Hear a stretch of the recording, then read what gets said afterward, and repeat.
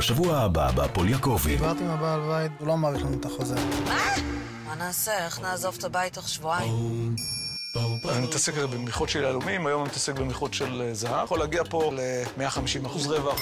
הבנתי שמשהו גדול קורה, האם מזמנים לך איזושהי מתנה? אפשר להיכנס לכזאת עסקה? 9 מיליון זה מינימום. תן לי לנסות. לא יודע איך אני אסתדר עם זה, אבל יש לי כמה רעיונות.